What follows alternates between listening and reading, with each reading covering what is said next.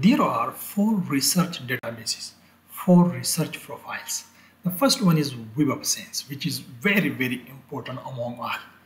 We know that impact factor of every journal is basically calculated from Web of Science. We get information from Web of Science. The second is basically Scopus. Uh, we calculated CiteScore, you know, CiteScore, which is somehow similar to impact factor uh, using information from Scopus right? And you will see also there, there is a differences among the citations, right? The third one is basically Google Scholar. The last one is ResearchGate. And let me talk in detail here.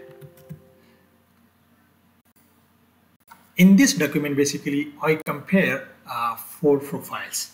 And you can see that two things are basically common, citations and H-index. All these four uh, profiles are databases uh, give uh, information about the citation in each index. Citation means that uh, once you are writing a paper and when you uh, give reference of my paper, my document, uh, and when you publish your work, so I will get one uh, citations, right? This is how citation work.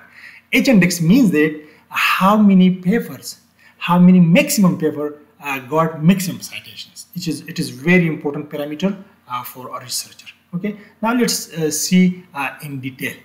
Google scholar basically free available everybody can make profile and it summarize uh, uh your document electronically and give uh, the information about the citation and h index. And it automatically upload the document. This is the profile you can see here right? The second one is now scopus. Uh, scopus is as i explained this is run by elsevier and it is used for citation analysis and it is not free available but once you are the reviewer of Elsevier and when you review uh, for Elsevier uh, so it will give you one month subscription and you can use uh, uh, Scopus and it, it also automatically upload the published article and it also compare uh, two things you can see here uh, the citations and H-index.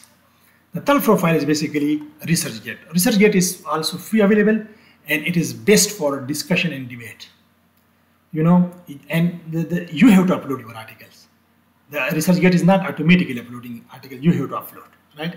And again it also compare the uh, citations and h-index and it also gives some additional uh, parameter that uh, compare the uh, others the researcher uh, with other researcher that is called research interest score. The last one is basically Web of Science and is explained that it is used for citation analysis and it is not free available, not free available, right? And it again, it automatically upload the uh, article.